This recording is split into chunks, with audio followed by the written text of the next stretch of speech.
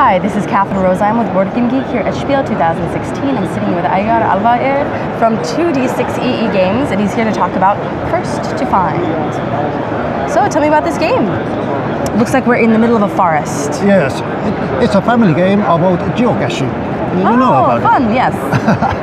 Well, and uh, it's quite simple, as I said, family game, and the goal is to be the first one who finds the cache, naturally. And the gameplay revolves all about uh, moving and searching. So, uh, what, what you do on your, on your turn is that you move. And when you move on a road, for example here, then you can turn it over and discover where you are. So that's a dead end, unfortunately. So now, now it's another player's turn, and the game goes on until yeah, let's let's Now they can choose which way they want to be this crossing. So and they can step here. And so also, let's say here's one player goes, oh, and that's a swamp. Well, what now happens is that when, when you're in the nature, you step into a swamp, well, you're quite a bit wet. So, Indeed. Indeed. So, you lose your next turn because you have to uh, a bit dry yourself and. And it's and a, a little slow going through a swamp, too. Yeah. So, and then it's next player and next.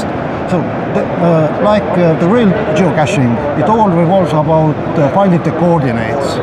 And normally you're looking, I can show you, coordinates are like these.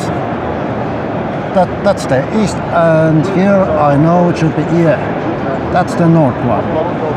So at, the, at this moment, the cache is located and the crossing of these coordinates. Interesting.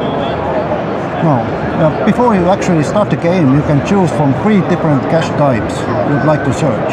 First is the normal, ordinary geocache. Then there is a multi-cache, where you, where you don't know how many stages there are. And finally, there's also a mystery cache.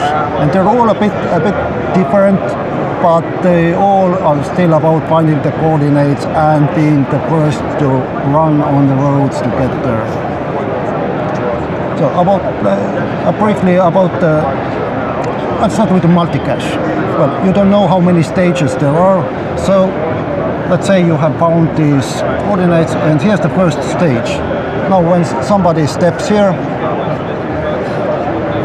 oh, it happened to be in lake, so that's the. Then it should be removed here because you can't have a stage in in middle of lake.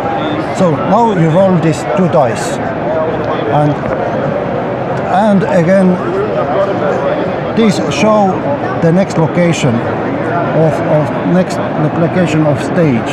But I rolled really bad at the moment because they would go off the grid. I should move five steps in one direction and six steps in other.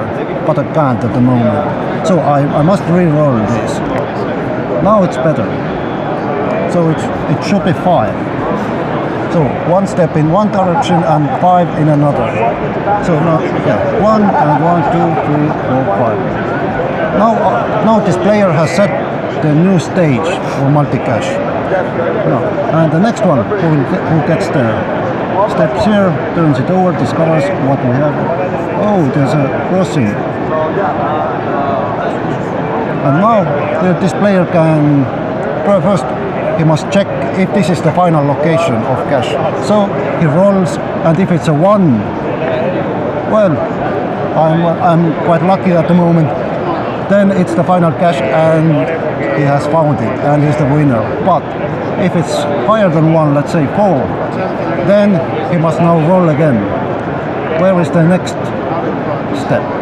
So, and now he can choose one and one, two, three. So, now everybody rushes here and again tries to find. Yes, in the middle of the road. You and, roll and now, now, it's one or two already. Ah, so the So- so earlier it- in the it game, the yeah. harder it is. Yeah, it gets simpler and, simpler. and it gets easier and easier and easier to Yeah. find as the game progresses. And now you didn't find it, it's another stage ahead. So you're rolling yeah, again, so you roll again. One, two, three. Well, he has tried up already, so he has stepped here. And here's a road going. So on his next turn, he will be here. Oh, it's again in the lake. So we'll put it here. And now we roll six. Oh no, not here. And again, and the game goes on until somebody finds it finally. There can't be more than seven sta- stages because If, the is a- last day, yeah, you, you'll yeah, get to. Uh, you won't get roll. anyway. Mm-hmm. So that's the multi-cache. With the ordinary cache, it's even simpler. It's less running because after you find the first coordinate, it doesn't matter which one north or east. Then you can start searching for the cache from this row. Let's say you found this row. And if you're here, you just turn it over and look if there is a cache, and this means you roll a die. And with five or six, you have found it. No. No, no somebody else can search here. No. And there's a total of six cards here. Yeah, so six cards, but four are discovered already, so only three are left. No, when, uh, when somebody discovers the second one now, the second part of the coordinate, then also this row can be searched. But if nobody finds in either this nor this, then the whole other forest can be searched. But then only with rolling of six you can find it. Okay, So then the coordinates are totally off and So there's a few different modes to play the game. yeah, A nice little family game. yes. Thank you so much. Thank you. That is First to Find from 2D6E Games.